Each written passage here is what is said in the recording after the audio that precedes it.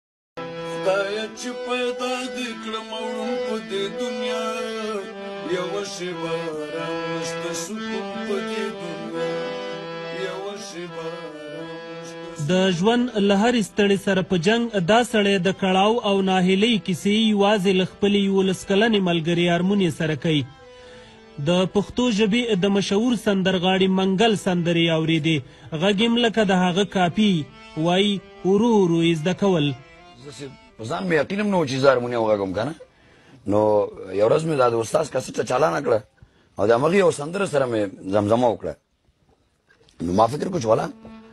ته خو دا, دا کارم کولای شي کنه داسې یو سندره وایي عشق د دنیا په تهمتونو باندې رنګ ما او مې سوځوه شمې په تا باندې پتنګ بیا مې فکر وکړم هلته چې ته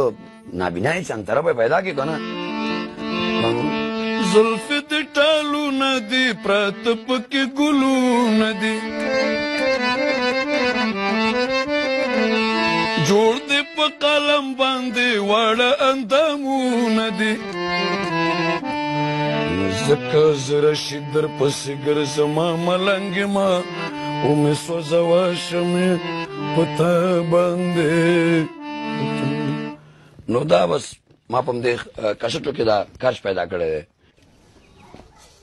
د ژوند ډېرې سختۍ یې ګاللي او لا یې زغمي وایي دوه خویندې او یو ورور یې نابینا دي د کور ګڼ غړي په دوو خونو کې ژوند کوي د کړکۍ شیشې یې ماتې او هر باران یې زړې خونې راڅاڅي زما کوټه وګورې که نه زما کوټه دې نه دا مې د ورور کوټه ده او دا کرای کرای کورونه دي زما کوټه کې ولاکه چندان د صحیح فرش مو اواري بس ژوند دې تیروي مبارز ما ته ترته ویل چې موږ مبارزین یو موږ خپل ځان ته درد ورکو او ملت ته خوشحالیانه ورکو که خلک یې ښادیو ته بوځي نو د کورنۍ د پالنې چارې کیږي خو وایي ډیر کله یې له بېوسۍ شپې په ناره سبا کړي څه کلونه یې په پښتونخوا کې ژوند تېر کړی او تر نهم یې کابل کې د برېل لیک ښوونځی لوستی.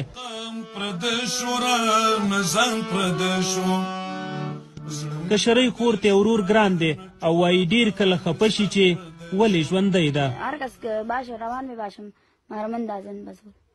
پلاره چې ځم خلک مې غورځوي په ما رشخند هم وایي وایي چې ته نابینا یې داسې یې او هغسې یې په زړه کې مې بیا داسې خبرې ګرځي چې خدایه کاش کې زه د نه وای پیدا کړی او یا هم نابینا نه وای خدا مرا کاش که پیدا نه وای کاش که نابینا نه وای بودم یک لوټکا خودم به سختی میگیرم خو د عایشې ورور د خپلې خور کیسې ته په غیر له اوښکو بل هیڅ نه لرل وایي که د خپل کاله څښتنان او درې وخته ماړه شي نو ژوند ته هیلې ډېرېدلی شي په وطن کار د میړنو ده پښتونستان د پښتنو ده سرور